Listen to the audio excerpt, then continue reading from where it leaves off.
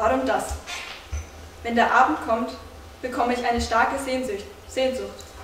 Ich möchte gerne jemanden fragen, warum ich diese Sehnsucht habe. Ich weiß es selber nicht und keiner kann mir diese Frage beantworten. Ich bin hier fremd und alleine. Wer kann mir da helfen? Immer wenn ich schlafen gehe, mache ich das Fenster auf und erinnere mich an meine Heimat, mein Dorf. Ich erinnere mich an unser altes Häuschen. Wie lange ist das schon her? Ich wache auf und bin wieder fremd hier. Bitte, meine Träume, verlasst mich nicht, wenn ich meine Kräfte verliere. Als Einstieg für unsere Präsentation für unserem P-Seminar habe ich dieses Gedicht gewählt. Und zwar ist es von einer Zwangsarbeiterin, die heißt Olga Sukrun und kommt aus der Ukraine.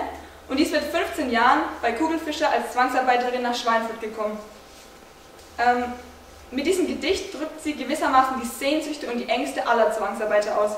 Und im Laufe unseres Projekts haben wir ganz viele von diesen Gedichten, Berichten und Lebensgeschichten ähm, gelesen. Und immer steckt eine bewegende Geschichte, ein Schicksal hinter diesen Gedichten. Und deswegen haben wir es uns als P-Seminar zum Ziel gemacht, all diese Gefühle zu bewahren. Wir wollten sie veranschaulichen und vertonen. Und eben diesen Teil der Schweinfurter Geschichte lebendig machen. Ich denke, einige von Ihnen kennen die Tafeln am Main-Radweg, die die Initiative gegen das Vergessen über die Zwangsarbeit in Schweinfurt gestaltet hat. Und zu diesen Tafeln haben wir in unserem Seminar Audioguides entwickelt. Ähm, die sind dann durch einen QR-Code auf unsere Schulhomepage verlinkt und zum Download dort bereitgestellt. Ähm, aber ich würde sagen, ich sage gar nicht mehr, ich sage sag jetzt gar nicht mehr, sondern wir hören uns die fertigen Audioguides jetzt einfach mal gemeinsam an.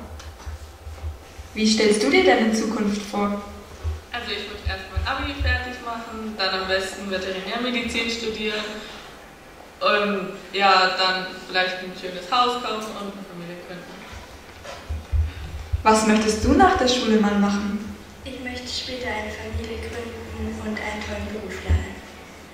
Hast du schon einen Plan für deine Zukunft? Ich will erstmal mein Abitur beenden, dann vielleicht ein Auslandsjahr einschieben und dann irgendwas studieren in Richtung Biologie und Chemie und dann ja später vielleicht eine Familie gründen, Geld verdienen und ja, das lasse ich halt mal auf mich zukommen. So wünschen sich viele Menschen ihre Zukunft. Man möchte abgesichert sein und etwas machen, das Spaß macht. Vor allem möchte man selbst entscheiden, was man macht.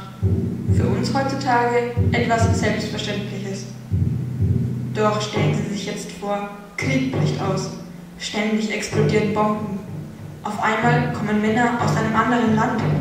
Sie schreien uns an, wir verstehen kein Wort. Sie packen uns, sie reißen uns mit. Innerhalb weniger Minuten sitzen wir in einem Zug mit 100 anderen Ahnungslosen, fahren irgendwo hin, weg von unserer Familie, von unseren Freunden.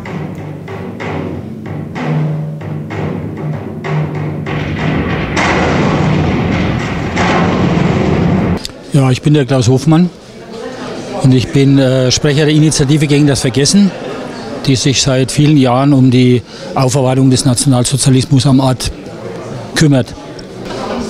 Jetzt hat ja heute das Olympia Morada Gymnasium, also die Klasse hier, hat ja eine Guide erstellt, einen Audio-Guide, eine MP3 oder mehrere MP3s. Was wird mit denen jetzt gemacht? Ja gut, es werden an den Tafeln von dem Weg an den alten Lagern der Zwangsarbeiter entlang werden diese Audio-Guides aufgeklebt und damit kann dann jeder mit seinem Handy praktisch das abrufen und zuhören, was da diese ganzen Beiträge, die heute vorgestellt wurden. Ah, das heißt, er muss diesen Code einlesen, dann kann er über die Internetseite äh, das dann abhören. Genau, ja. Also das ist halt inzwischen üblich, dass man darüber auch in Museen und so weiter äh, hören kann, was dazu gesagt wird. Das heißt also auch am Leopoldiner Krankenhaus für die Sofia Malacek? Malcik, ja, das weiß ich jetzt nicht, weil das ist ja die äh, äh, Sache der Olympia-Marada-Schüler, aber nachdem sie einen Beitrag haben zu äh, Sophie Malcik, wäre das natürlich auch sinnvoll. Was sehen Sie als wichtiges Zeichen noch weiter für die, für die Zukunft, was man noch unbedingt machen müsste?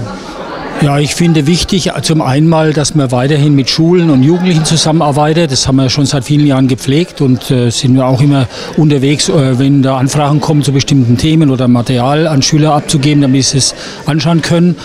Äh, was schon seit vielen Jahren ja auch im Schwanger ist, ist auch die Frage des Willi-Sachs-Stadions.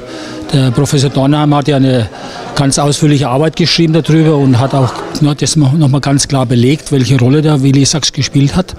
Das wäre wichtig, dass das in der Öffentlichkeit wieder auftaucht und diskutiert wird und möglichst auch das Stadion umbenannt wird. Also es ist doch ganz wichtig, dass man auch jetzt über 70 Jahre nach dem Zweiten Weltkrieg weiter dran bleibt und äh, es nicht vergisst. Ja klar, vergessen ist immer das Schlechteste. Und äh, ich meine, es muss eine faire Auseinandersetzung darüber geführt werden. Und äh, am Schluss muss dann der Stadtrat letztendlich auch entscheiden. Mit dem, äh, mit dem Sackstadion. Sackstadion. Also wir SWN sagen ja schon lange nicht mehr Willi Sackstadion, wir sagen einfach nur noch Sackstadion.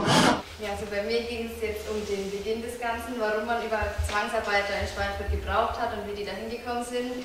Und ich wollte mit, meiner, mit meinem Audioguide eben schaffen, dass die Leute, die sich das anhören, genau in diese Stimmung zurückversetzt werden, vor allem jetzt auch durch den Anfang, wie sich eben die Zwangsarbeiter gefühlt haben. Wie hast du das versucht, künstlerisch und musisch umzusetzen? Ja, ich habe ähm, das mit dem Interview angefangen, äh, damit, wir, damit man weiß, äh, wie, wie, sich Leute die Zukunft heute vorstellen und auch wie sich die Menschen das früher bestimmt auch gewünscht haben und dann eben gezeigt, wie es dann wirklich war und auch durch Musik unterlegt. Von den Reaktionen von den Leuten her ist es so, dass das sehr stark unterstützt wird und ich habe da keine Bedenken und viele Jugendliche sind auch wirklich interessiert an der Zeit, wollen das wissen, kümmern sich darum und deswegen glaube ich, dass es auch weitergehen wird und auch wenn wir nichts mehr machen, auf die Reihe bringen würden, dann äh, geht es trotzdem weiter. Schneller gehen, nicht trödeln! Copain, ich bin Justian. Weißt du, wo wir sind? Oui, oui, ich bin Pierre und schon länger hier. Wir sind hier in Schweinfurt und werden hier die nächste Zeit arbeiten müssen. Schweinfurt? Was? Schweinfurt? Wo genau werden wir hingebracht? Zu Fichtel und Sachs. Das ist eine große Firma hier. Du wirst dich schnell einlegen müssen, Lucian. Mert, was müssen wir dort machen? Also bei mir war es so, zuerst habe ich als Zwangsarbeiter meine Arbeitskleidung bekommen. Und danach wurden wir sofort in Arbeitsgruppen unterteilt und zur Arbeit geschickt. Was?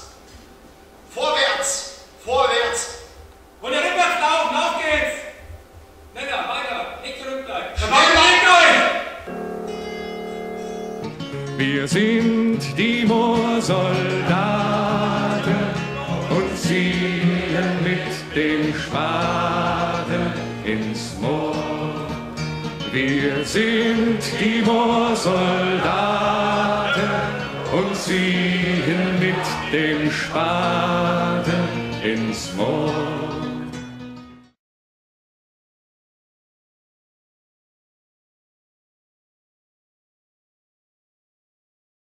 Ich konnte mich nicht einmal von meiner Familie verabschieden, weil ich ja zuletzt im Krieg war und von dort hierher kam, nachdem sie mich gefasst haben. Also gut, dann vielen Dank und noch viel Erfolg mit Ihrem Verein gegen das Vergessen und hoffentlich wird es nie vergessen, was damals passiert ist.